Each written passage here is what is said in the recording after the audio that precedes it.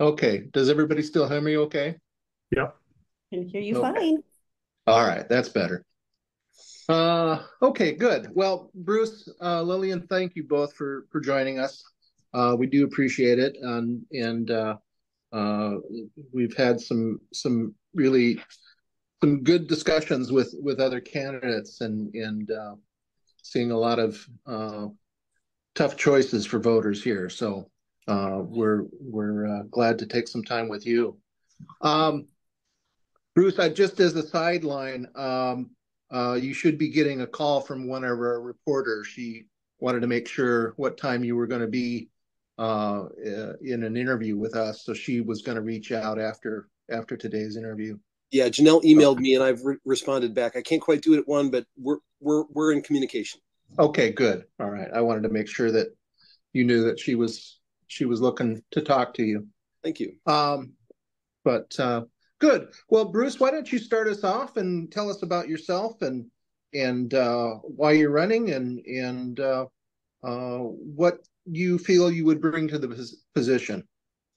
Well, I'm Bruce Guthrie. I'm 61. I've uh, lived in uh, this district since 2008. I moved to uh, Bellingham, Washington from uh, the Midwest back in 1994. Um, I have an undergraduate degree from Cornell University. Uh, I have an MBA from the Northwestern University Kellogg Graduate School of Management, uh, and I have a master's in teaching. So I, I'm a basically a sales and marketing executive who has a second career as a math and science teacher. Um, the uh, experience of being a teacher in the state has taught me a lot about education in the state. Uh, and so that's one of my top issues. I think uh, the uh, existing government school system is racist in its effect. I don't think it's intentionally racist. Uh, and I think school choice would go a long way to uh, helping alleviate that racist problem. And I think my opponent is perpetuating that system. And unintentionally, I won't, I, I obviously don't I want to call her racist. She's not but I think her policies are unintentionally racist. And I think school choice is uh, one of the solutions to that problem. Um, okay. Is it is it uh, something about the public school system that that you feel is is uh, is the problem, or or what? Absolutely. Well, the the fundamental problem is that there's no competition, and therefore there's no accountability. The people who are stuck in the educational system are they're stuck. They're, they're not like me. I send my three kids to three different private schools. Uh, i'm because i'm not poor i'm able to do that kind of thing but it's not fair that the system uh, gets them stuck. Uh, if there were competition then the schools would have to improve or the kids would leave we're getting a little bit of that. We can see the growth of homeschooling, which I applaud wholeheartedly. Uh, I'm an atheist, and I know that homeschooling is largely a Christian phenomenon, but I am a huge fan of homeschooling. And I'm a huge fan of private schools. I send my kids to some of the most left leaning private schools that you could possibly have. I'm sure that Lillian would feel very comfortable in those communities, uh, but the education's danged good. And uh, the reason for that is that we are treated as customers instead of as, uh, well, as though we were trapped. It has an incentive to improve. And the government schools uh, try to do away with competition in order. I mean, maybe it's in order, uh, but it's it's so that uh, one of the effects is that they don't have to improve. So it's a fundamentally flawed system. I, I view it this way government schooling is a failed social experiment. And as long as we perpetuate that, we're going to have uh, poor Blacks and Hispanics in urban areas who are permanently disadvantaged for the rest of their lives. It's horrible, okay. actually. And Lillian Ortiz Self, who you will endorse in this campaign, is perpetuating this system. And it's a massive social injustice. Okay. Um, Lillian, uh, I'll give you a chance to to respond to that, but but maybe uh, just start out with an introduction, talk about why you're running for reelection, um, and and what you would hope to accomplish uh, in the next term. Thank you, Jon. Yes, um, uh, I uh, have lived in Mukilteo since 2004. I've raised my children uh, in this community. Um, and um, I have a master's in public administration and a master's in counseling. I have ran as executive director of mental health center. I've also been a high uh, uh, school counselor for 21 years. Uh, I have been in the trenches. Um, I am a product of the public school system that gave me an opportunity to succeed and at the same time has failed many students. I agree with Mr. Guthrie that we oftentimes fail our most vulnerable children. I also agree with Mr. Guthrie in that I am a strong proponent of the public school system. Um, before I get into that, let me just say that that I ran because of the lawsuit that was happening, um, uh, you know, against education 11 years ago. Um, and being in the trenches, I heard the stories of the families, and and I was uh, very moved by wanting to make sure that the dollars we were going to invest in education uh, was reaching out to our most vulnerable kids. Uh, mm. That is something we've been working on. It's something that continues to be a need and that we have to continue to address. Um, I also am very passionate in human services as a mental health counselor, uh, as someone who's worked with foster children um, and in human services her whole career. Uh, I'm very passionate about those services that serve our most vulnerable in our community. Um, I also am a very strong supporter of our workforce. Our small businesses uh, give our communities like mine an opportunity to succeed, uh, and our workforce, uh, protecting our labor and workforce, uh, also give opportunities for a living wage job for families. And so I, I strongly support that as well. Um, I'm sure we'll get into other questions, but let me just say that in regards to education, um, I I don't take it lightly. Uh, the uh, the charter schools, the private school conversation. I have traveled all of United States, uh, looking at what's happening in our private school system.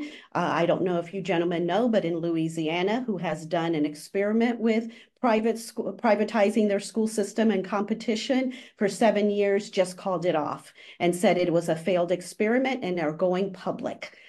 Um, I have seen private schools that some some in areas that have succeeded well, and I have seen many that have failed, including in our own state. Um, I just ask for accountability. I want to make sure that when we are using state dollars, that the board is accountable, that we have accountability in a system, because I see many private schools across the United States that leave out our Latino and Black kids, leave out our special ed kids, leave out our English language learner kids, because they get to select their customers. They get to select those with money they get to select those that give make them look good and have their A's uh, and their 4.0 GPAs. And it is kids that look like me that are left out often. And I want a system. I want to force the system to work for everybody. I don't want segregation. I also see charter schools that are just for Black kids, just for Latino kids. And of course, and they're doing great. But I think they're missing out on the cultural experience of living in a global society. And I want an education system that that is going to work for every child, whether you're poor, whether you, whether you have a disability, whether you don't speak the language. Our education system must serve everybody. And that is what I continue to fight for. Okay, good. Um, I, I want to continue uh, as, long as we're we're launching into this. Uh, continue on this, uh, Lillian. I want you to We've of course had uh, a lot of effort put into uh, the McCleary fix. Um, can you give me an assessment of how well that's worked and whether uh, lawmakers need to go back into that and and make adjustments or or wholesale changes or or what's necessary?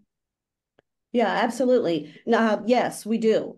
um, because we're behind the eight ball again. Um, so the minute we passed McCleary, it took so many years to pass it that we already started to fall behind in funding the programs that uh, the the money that we needed to invest into our educational system. Um, and yes, we need to go back and do that. And we were having those conversations and looking at how we were funding schools, and then COVID hit and that stopped everything, um, as you know, um, because we're now playing catch up to COVID and uh, what what that has done to our public school system. And so, um, as a result of that, uh, it is on the table. As you know, I serve on the education committee. Uh, it has been on the table uh, before COVID. It is on the table again, looking at how do we fund uh, there are there are gaps like our sub days that we pay for for our teachers and our school system, our our para educators. How do we get them up to par? Um, how do we continue to fully fund special education uh, so that our neediest kids and our English language learners, how do we make sure? So we, we, we're making strides in closing the opportunity gap, but it's not closed. And until it is, until we've gotten there, uh, we've got work to do. Okay, thank you. Uh, Bruce, back to you. I want to go a little deeper with you on on education, uh, and and to begin with, um, what what you see as how this would work? Would we give parents vouchers uh, for them to use either, uh, you know, charter or a private school, or make the choice to go to a public school? How would would that work? I promised to get to that, but first I have to answer some of the points that uh, uh, Ms. Ortiz made. Um, okay. Uh, what I want to know is, it, despite the McCleary work, uh, and despite the fact that per student funding has been going up faster than inflation, why are test scores continuing to go down? Does she know, despite all of her policies, all of her work, why are the measurable outcomes declining? This, in spite of the fact that the average private school tuition is less than the average that we spend per student in the government school system in Washington State. Why is that? We're spending more, and uh, you know, she her her solution is to spend more money, right? Well, that's really what the WEA wants. That's really what the school bureaucracy wants. You know about the growth in non-teacher support staff in the schools? It's dramatically outstripped the rate of growth of the actual numbers of teachers. And so what we see is uh, increasing class sizes. I send my uh, middle boy to a private school. It's an IB school. It's the most left leaning liberal place, flies all the pride flags, and uh, welcomes uh, people of, of any race with full ride tuition scholarships. It's completely uh, income independent and they are trying to build that uh, racially diverse community that Lillian Ortiz self uh, herself advocates. Um, and the class size is 14. The educational outcomes are better. Her system is a failure, and it's a failure with racist effects, despite her rhetoric. And despite, I think, her good intentions, I'm not calling her racist, but the system she advocates which mostly advocates the, the politicians in Olympia and the WEA union and the administrators, uh, it doesn't benefit the students. The students are better benefited in a system that has competition. So that's what I advocate. Um, I mean, I, I have short-term uh, policy uh, things that would improve things at the margin, and I have a kind of a long-term goal. Uh, short-term, anything that helps uh, parents and students choose their school. That's a step in the right direction. So, uh, charter schools, vouchers, those are all great ideas. Those are all steps in the right direction. Uh, if if uh, I had my fantasy, my long distance fantasy that would happen over maybe 50 years, I would like to see each individual government school building turned into a private nonprofit organization with a, a parental board, just like a nonprofit org. I'd like them all to charge tuition, and I'd like the state, based on property taxes, to give a full ride voucher to the bottom half. I don't know how to determine the bottom half. You could base it based on some computation of income and assets, but the bottom half, the, the poor people, uh, would get a full ride voucher they could take anywhere they wanted. Uh, over time, I'd like to see that voucher system privatized as well. Uh, but uh, we need a separation of school and state. The same thing that gives us, and I'm, as I said, I'm not religious, but what we have in this country is an incredibly vibrant religious tradition. There are more religious people in the United States, for instance, as a percentage, than there are in England. England has the Church of England. It has no separation of church and state, and religion has uh, has you know not done as well as in the United States. It's done as well in the United States because there are all these sects competing with each other. If you don't get the kind of thing, whatever that thing is that you want from your local church, you go to another one. It's competition that's the thing that makes products and services better in quality. And the reason we have declining quality in education is because they're trying to make it a monopoly. Okay. Um, so uh, again, your your vouchers, charter schools, uh, we you're it sounds like you're saying we don't have to to outline something on that right away. Uh, well, I I, I advocate uh, vouchers and charter schools. I mean, uh, okay, but as as a first okay. step, as a first step toward okay. eventual full privatization of the government school system. Okay. You know, I have kids in private schools, and there we're treated right. like customers, and they know we could leave, and so there's an incentive to improve. And we don't have uh, this this bloat of support staff promoting political causes like DEI uh, in our schools. It's just a political cause. You know, I'm I'm anti-racist as well, uh, but what we have is the politicians in Olympia, including Lillian Ortiz self, forcing their politics on our kids via the education system. I'm a teacher. I'm a math teacher. I've been asked to uh, change my math problems so that they promote a political agenda within the word problems. But uh, where are you teaching? Currently, I'm uh, uh, I'm not teaching. I was a sub recently. Uh, the Northwest School uh, on uh, Capitol Hill. I did a lot of subbing there. I've done some subbing in the schools that my kids go to. University Prep, Evergreen School, and this awesome little IB school in Lynnwood called um, Soundview School. Okay. For that, I was a teacher at uh, Western Washington University in their business school, taught in the College of Business and Economics. Okay. I have a, a, a lot of coursework in economics, and I, uh, one of the reasons that uh, I oppose governments getting into these things so much is that I've studied economics. I know that sure. the free market works better than centralized government planning, and that's what we learned when the USSR collapsed in 1990 that a centrally planned government economy produces horrible cars and uh, horrible happiness and horrible prosperity for the poorest.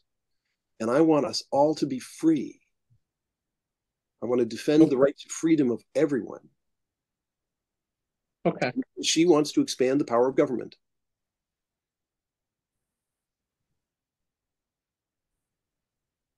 Okay. Um, Lillian, I want to go back to you for a moment, just to to give you an opportunity. Uh, Bruce asked, um, uh, per perhaps rhetorically, asked why, with increased spending, we're not seeing a a uh, you know an improvement in in test scores or just basic academics. Um, uh,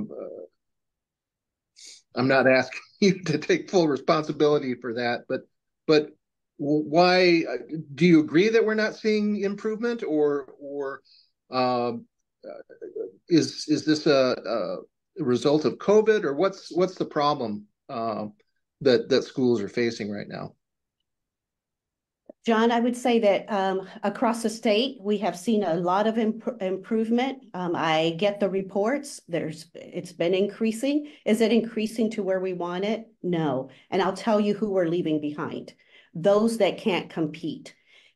Mr. Guthrie says he's a customer, he can pull his kids out, the school probably that probably matters to his school. You know what wouldn't matter to his school? The parents that have come to me that have said they've been in charter schools and their kids had a learning disability and they were encouraged to move their kid out. They were his their child was pushed out because they were making the school look bad the child with special ed, the child that didn't speak English, who were not who was not given the proper services, the parents that were low income and couldn't meet the hours and the mandates that the school was making on them. And so they were not entitled to all the services. Those are the, so yes, in some ways, I do support mandates because I want to mandate that every child get a free and appropriate education because that is in the Constitution in the state of Washington, that every child will get a free and appropriate education. Why aren't our test scores? Because we serve all kids. We serve those kids with very large social emotional issues that walk in our door. We serve those that are homeless and living in a car, sleeping in a trunk of a car.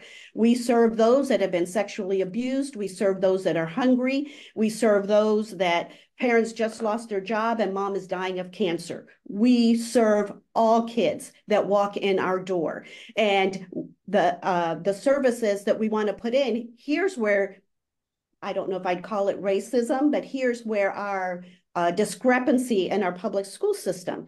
Those parents who can compete and have the loudest voices and have money tend to get what they want in our public school system. They're, they are loud voices and they are listened to.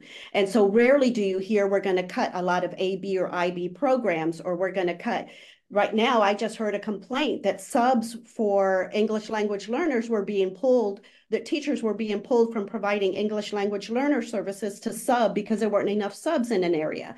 That's a civil rights issue because those children are being denied their the services that they are mandated to have. Those are the kinds of things we can't account for or regulate in a private system. And it needs to be mandated so that it doesn't happen across the board. And we need to make sure that the child who comes in who's traumatized is going to get free and appropriate services. And we are going to put dollars into that as the others. Political agenda, here's my political agenda. Every no child should be in school that should be bullied. Every child should be in school that is treated with the respect and the kindness that they deserve. And every child will get a free and appropriate um, uh, and and I've had parents who say, well, you know, when you when you say that, that means that you know, if a child says he's gay, he's allowed to say that. Whatever a parent wants to teach a child is okay with me. What I also want to say though is that that child does not have the right to come into school and bully anybody else. So that means that if his classmate says he's gay, he is not allowed to make fun of him. He is not allowed to stick his head in the toilet. He is not allowed to beat him up after class. And we have heard every one of those stories. So for me, what I say is kindness, respect, no bullying, no harassment for whoever you are and with whatever you walk into that school building has to be a mandate. We have to have a safe climate, not because Lillian wants a safe climate, although I definitely do, and I want that for my children, but because all the research says that social climate um, makes a big difference in how safety and how safe a child feels will make a difference in how they produce. If you go into work yourself and you feel like you're in a hostile environment, people aren't respecting you. Believe me, as a you know a, woman and a Latino woman, we go through all of that you tend to not produce like you do if you are uh, in the competitive group, which is mm-hmm. the one and with money, with a voice, with uh, uh, the ability to make sure that homework's done on time and all those things, you are being, uh, they want you there. And I guarantee you our public schools work the same way. Public schools do not want to lose that honor roll student but meeting the needs of everyone that's vulnerable and hurting is hard. And yes, COVID made that even harder. And we're still reeling from all of that. But social emotional issues uh, are a big issue for our kids, especially when you are mandated to serve them all. Can't hear you, Jon. Can't hear you, Jon. Jon, I can't hear you at all. All right. Are you are you hearing me now? Now I'm hearing you. Okay, go. It sounded like you wanted to respond. Yes, please. Uh, I was counting. She said the word mandates nine times. Uh, she doesn't understand. She wants to rule by force. You know the ring of power in the in the Hobbit. It's the power corrupts. Mm-hmm. She and and every good person, and I'm not uh, disparaging Lillian, Lillian Ortiz self. If I'd been in her position with all that power, I would be corrupted too. She has been wearing the ring of power, and she wants to rule through mandates. And it not only corrupts her it doesn't work because freedom works better. So let me tell you about my three kids. My eldest kid is on the autism spectrum. He's gay. My middle boy is on the autism spectrum and has adhd my youngest daughter is bi and uh, has adhd uh, my eldest boy went to uh, Mukilteo Elementary, where he was bullied and where the teachers had had all of the passion sucked out of their uh, out of their teaching style by a bureaucratic system. We were so glad that he was able to get into one of these left-leaning secular um, private schools where he experienced much less bullying, where his special needs were accommodated much better than with the old IEP system, which was a major pain in the keister. Uh, the private schools have served my kids so much better, and I want to extend that privilege down to the poorest. And she doesn't. She wants to force the poorest into this failing system that doesn't compete and has no incentive to improve.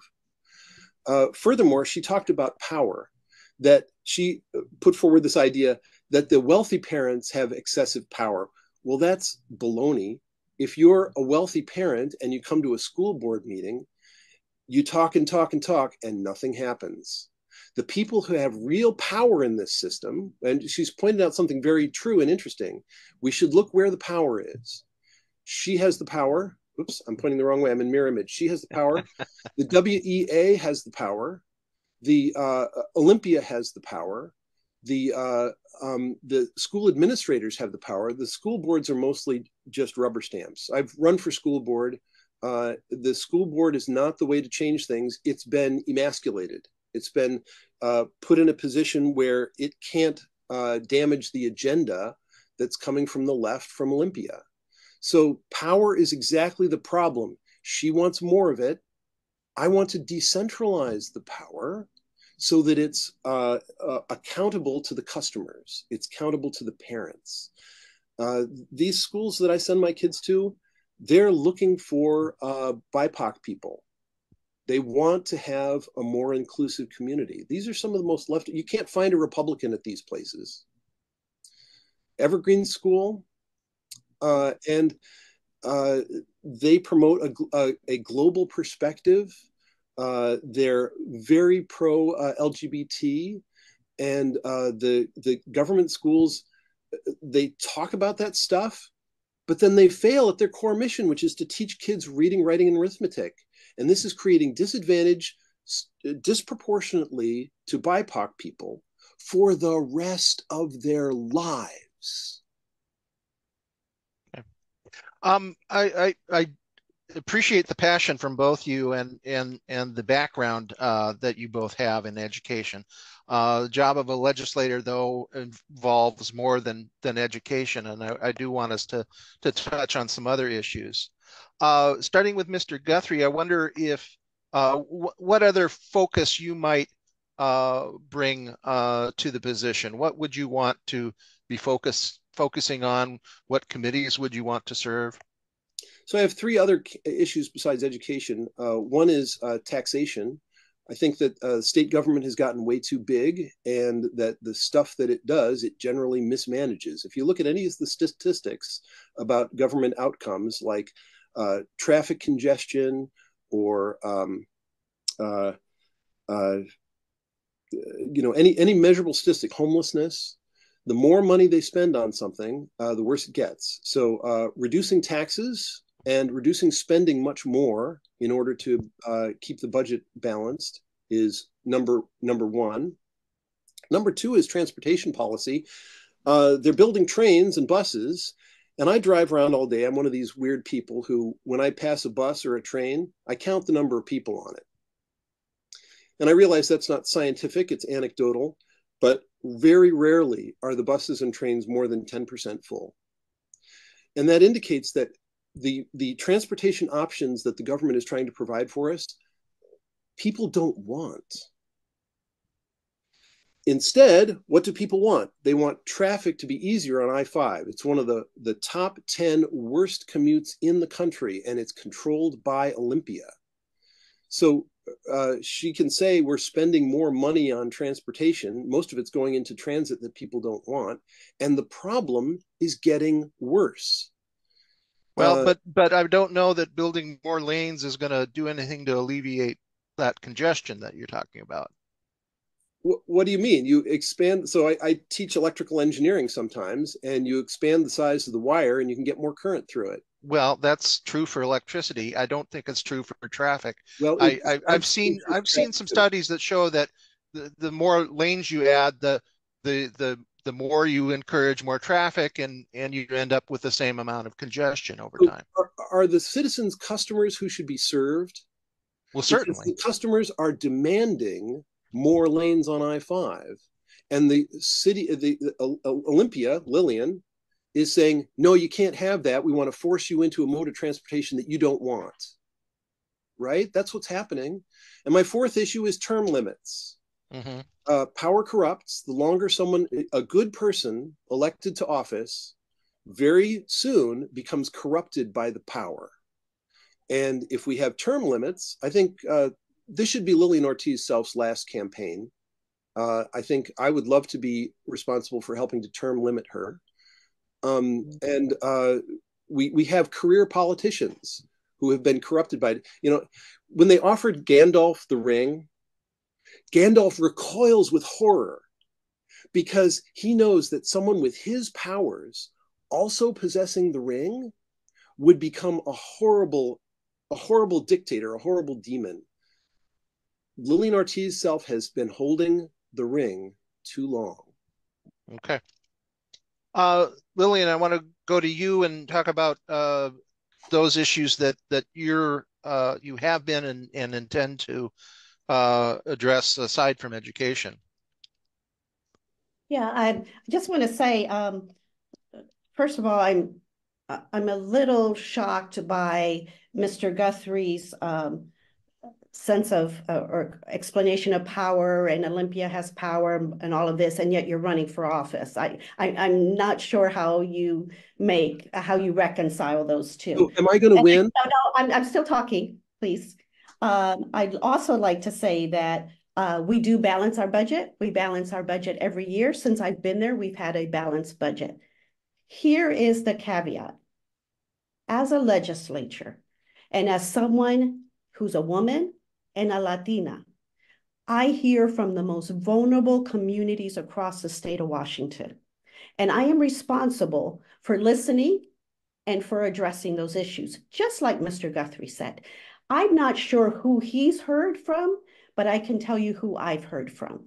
I've heard from those seeking mental health services. I've heard from those who are on uh, food assistance. I've heard from those who are homeless. I've heard from those who are addicted. I've heard from those in special ed. I've heard from those who are about to lose their home and their and have a second mortgage on their house.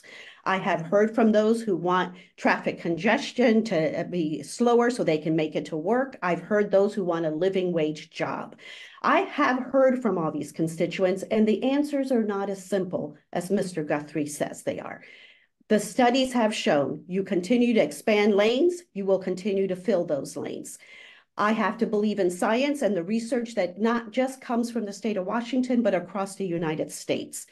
I've also heard from people who have said we are we're concerned about climate change and we are more than willing to do our part. And if transit is available, if bus services is available in a timely manner and will get me there, and if we electrify our ferries and continue in that pathway, I am more than happy to use that service and I am more than happy to get off the roads. And so we are trying to strike a balance we get a lot of information and our job as legislators, and should Mr. Guthrie become a legislature, his job is going to be, I hope, to have an open mind to look at everybody's needs, not just some and not just from one perspective, but all of them. And most of them that you really have to fight for are the ones who have no voice the ones who are voiceless, the ones who have no power. And it makes it hard for me as a Latina woman. Why ha- I thought maybe I'd run for four years and step away. Why have I ran for 10? Because as a Latina woman, when I got there, I feel like representation matters. And I was the only Latina there. When I got there, there was 28% women the issues that I was representing as a mom, a mental health counselor, and an educator, I was the only one of two educators sitting on the education committee. No one else was sitting on there. The only mental health therapist who had a practice, who worked with the Department of Children and Family Services, who worked with foster children sitting at the table. And I found it hard to walk away. I am now in a position of leadership as the majority caucus chair, and I've got to tell you, I am going to use any ounce, any day that I have to continue to fight for equity, to continue to fight for those who don't have a voice, and to continue to fight for these issues because they're bigger than just transportation or we're talking about childcare. We're talking about businesses saying, we need you to take care of this childcare issue because we don't have enough employees and we need our women back in our workforce.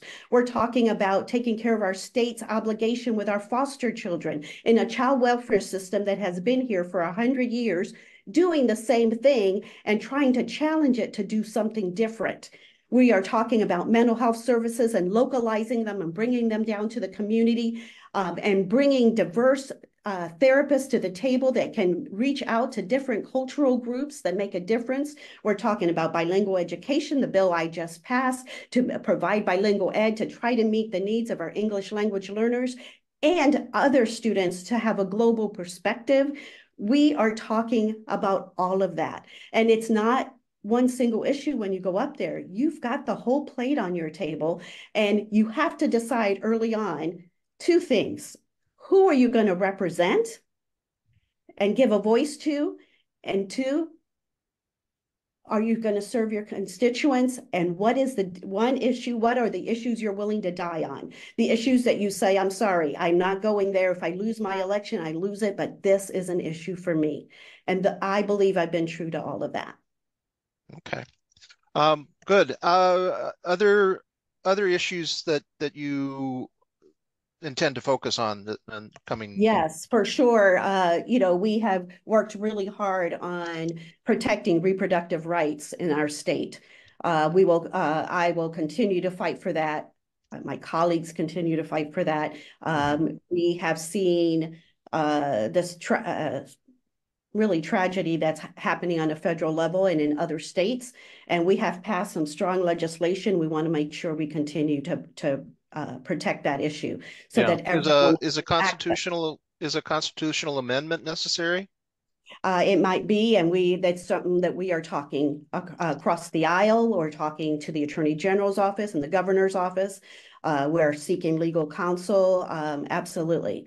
Uh, we may be looking at that, but you know, protecting uh, the the drugs that come into our state and what we have, protecting others coming into our state, protecting our doctors who provide the services, uh, the whole gamut we continue to fight for. I am proud to be uh, endorsed by Planned Parenthood because I believe strongly in, in the rights of women to control their own bodies uh, we will continue to do that as well. Climate change is something that we continue uh, to look at everything from our, our transportation system to our waterways and our airways and working with our tribes and trying to uh, make sure that we do it in the most effective way um, possible. We should be ha having some new legislation coming out on that this, this session as well.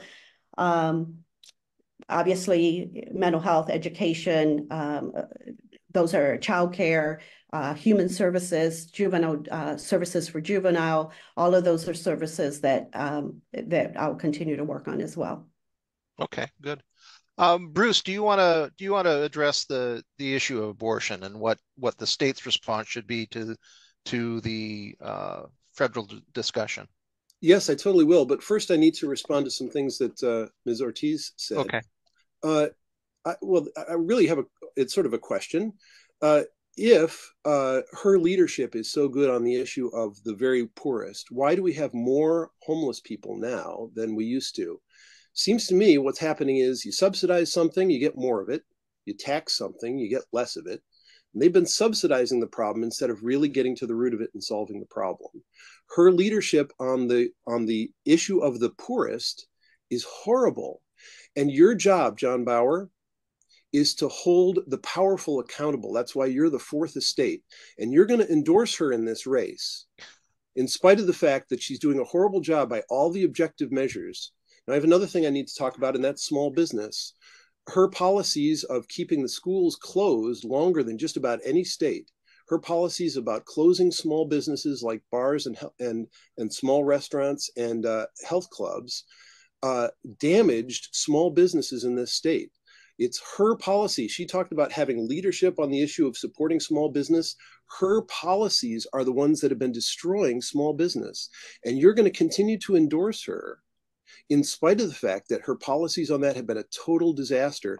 And it makes me wonder are you really just you know trying to curry favor with someone in power um, I, I'm I'm not going to respond to that. I, I I will tell you uh, and this is something that I tell all of the candidates that we talk to. Uh, even when we do favor one one uh, candidate over the other, uh, we make every effort to represent represent all candidates fairly, and and not so much tell voters who they should be voting for, but tell voters here are the candidates. You make your own choice on this. My we, bet with you is that you endorse her. But let me talk about the abor- uh, abortion issue. I'll bet you 500 yeah, bucks you endorse her. Uh, my uh, opinion on uh, abortion. So Christina is pro-life. Lillian Ortiz-Self advocates abortion rights all the way up to the day of birth. Both of those two positions are extreme. Uh, what we should have is a completely legalized abortion in for some period in the middle. I don't know if you want to cut the line at 14 weeks or 16 or 20 weeks. It's kind of an arbitrary thing. Uh, and I would be flexible on where that was going to be. But 99% of abortions are early term abortions. And um, I defend a woman's right to do that. And I also would want to defend abortion when the life of the mother is at risk uh, or elevated risk to the life of the mother. Uh, late term abortion should certainly be allowable under those circumstances. Um, but uh, uh my position is in the middle. It's I have a centrist position. I'm not extreme like Lillian or Christina. What what uh, what's the libertarian position on on that on abortion? Well, uh, libertarians are divided on this, just like there's a diversity of opinions within the Democratic Party um, on this issue. There's a diversity of opinions within the Republican Party on this issue. Uh, there are a few pro life libertarians. Uh, they honestly believe that uh, God puts a soul into the conceptus at the moment of conception. And, um, uh, you know, from you know, I'm a, I'm a science teacher, and Lillian Ortiz-Self has uh, evoked the mantle of science, but I'm an actual science teacher. And uh, in my opinion, uh, what we have is potential life until the brain complexity is sufficient enough to, to support consciousness. Now, the science doesn't tell us yet what that point is, and it's probably a different point for every single fetus. So, unfortunately, there's going to be some arbitrary line. And uh, yeah, I'd be good with 14 weeks. I'd be good with 20 weeks, somewhere in there. Okay. And you're basing that on on uh... when when uh, the brain is sufficiently complex enough to support consciousness. Okay. That's when something goes from being a potential human being to being an mm-hmm. actual human being. And I think that point happens before birth. I've mm-hmm. had three babies and I've seen the way they come out. And they have personalities from day 0 mm-hmm. Okay. Um, I, I want to give you uh, another chance just to to uh, uh outline in, any other issues that that you yeah. would be addressing. Um, Jon, what I what I uh, if I may, I'd like to say that you know uh, in the issue of we're failing our poor, I don't think there is any state in our union, in our great nation, that has been able to find an answer to meeting the need of everyone who is struggling out there. I think there are states that are trying to do better than others, and I think there are states that really are ignoring some real serious issues or doing harm. Um, and we are not any different. I think it's a panacea and a and a uh, fake reality to think that I came to Olympia thinking I am going to solve every issue of every person who's poor and hurting. If I had a magic wand, I would do it in a minute. Um, my heart's there. I would love to do that. I think people, most people would, I would hope, want to do that. Um, it's a very complex issue. What I do fight for is, you know, at the end of the day, I've got to look at people and explain why we cut services that they needed to survive on, why I cut housing vouchers, why I cut food services, why I cut, you know, food subsidy, why I cut their opportunities. Um, and I have to explain that. And so that is what we struggle with every day is, you know, uh, where do we put money in that will have the biggest impact, serve the most people while knowing that we're leaving so many behind because there isn't enough money to go around. Um, and because we don't raise taxes in our state. And so we know that there are those that are hurting and we can't we can't meet that need. So we're constantly juggling who is the neediest and how do we help them and try to get the most bang for our money. Um, but at the end of the day, as a legislator, I have to look at constituents and say, I'm sorry, we closed down your service. And I have to be able to explain why. And because I want to lower taxes or, be, you know, whatever, doesn't really fly for my constituents. They want to know um, how, how, are they going to make it the next day? That that local mental health center I closed down, that their daughter kept their daughter alive, where are they going to go for services? I mean, it's where the rubber hits the road, and it's those kinds of things. Um, as far as small businesses, I can't tell you the support we had from small businesses during COVID. Were there some that were mad? You know, the state there was that we were polarized in some of these issues. But I will tell you, we were at least 60% and small businesses coming and talking to us and saying, I don't want to put my employees through that because small businesses it was their family working there. It was their cousins. It was their friends and neighbors. It was their family who was working in these shops of 10 and 12 people. And they didn't want them in danger. They didn't, they, they were asking us, can you please mandate mask? I mean, it, these are my family members getting sick here. Um, and it was personal to them we heard from them much more than we heard from large businesses. Large businesses wanted you know, uh, let's stay open. Uh, small businesses were saying, please, our our family members and our community is hurting and getting sick, and we are responsible for that.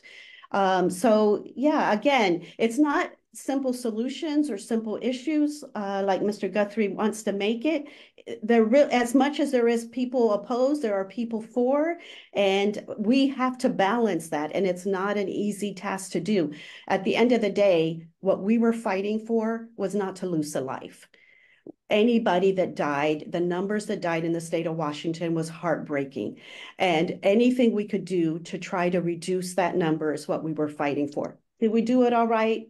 I don't know that as a nation we will be looking at this uh, for years to come. But what I know we did in Washington was we took the precautions to try to save as many lives as we can. And I think that was our, our mandate. There's that. And her rhetoric is very mandate. Her, her go ahead. Go ahead, Bruce. Thank you. Her rhetoric is very compassionate, but the effect of her policy was to be beneficial to the big businesses, the Walmarts and the Targets, at the expense of the little businesses because the big businesses have more political clout. The big businesses are more likely to give campaign contributions.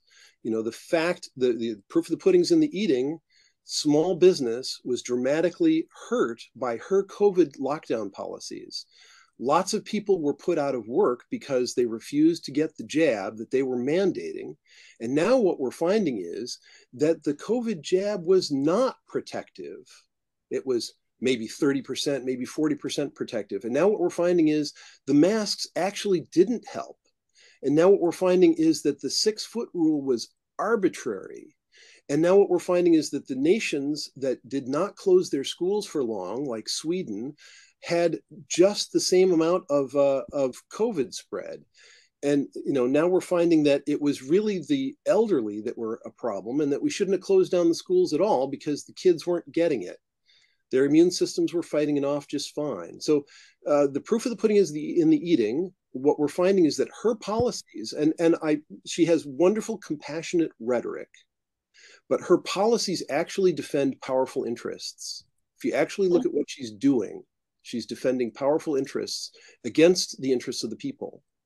Okay. I just like to remind everyone that as a Democrat, if you look at my caucus members, especially if you look at my PDC, the, where I get my money, large businesses don't support the Democrats in numbers. We get very little from low. Small businesses, okay. working folks are what support us.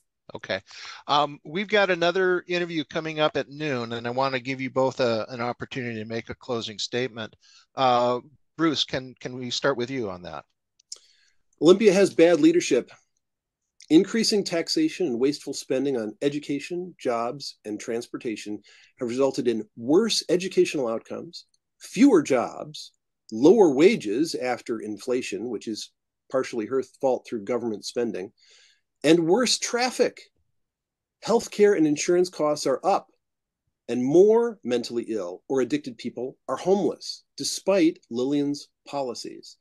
As a father of three, I aspire for better in Washington state. We need school choice. We need more police to arrest shoplifters. Uh, we need tax relief and for the government to get out of the way of small business. I will work to lift the burden of bad government from our backs so we and our children may prosper. Okay, Bruce, thank you. Uh, thank you. Lillian, any fi final thoughts? I guess I would say that I have never come from a position of privilege where I felt like I didn't uh, need uh, mandates to protect my rights. Uh, as a woman, as a person of color, if those hadn't been there, I would have not even achieved what I have achieved. So do I believe that we should have some protections for all people to be able to rise to their fullest expectations? Yes, I do. And I do because personally, I would have never gotten there. I am not the right demographic that were, had the doors open for her to get there if it wasn't that these mandates were in place for me and for a lot of my constituents and for those who are who do not have a voice. I feel like we need to continue. I, I feel like I still have the passion in me to continue to fight uh, to make sure that the issues I mentioned earlier uh, for our most vulnerable people, our working families, to give them opportunities, to give all our children opportunities to succeed, whether it's higher ed or apprenticeship programs, to be able to make living wage jobs, to be able to live in the state of Washington. That I want that what I want for my children and opportunities I want for all children. I'll continue to fight everything from childcare to higher ed, mental health services to uh, substance abuse. Um, I'll continue to fight for transportation and and and uh, working hardworking men and women. Uh, and I'll continue to fight for equity in the state of Washington, making sure that as a woman and as a Latina, the policies that come through, I look through that lens. I experience through that lens. And so I want to make sure that everybody has a voice at the table and that uh, I, I can represent that to the best of my ability. Great. Thank you. Uh, again, I want to thank you both for your time and, and your passion. Uh, that's what we want out of out of our leaders, and and uh, it's no small thing to run for office and and to to serve. So you have our appreciation for that. Uh, we will be uh, starting to publish endorsements uh, early part of July. Uh, we will give you a heads up by email uh, when the endorsement for this race comes out. Um, uh, but again, thank you for your time. If you've got any further thoughts that that you uh, uh, didn't get a chance to to share with us, please uh, feel free to email, uh, and uh, we will be in contact. Appreciate your time. Thanks, thank Jon. you very much. Thank you. Talk to you soon. Bye bye. Bye bye.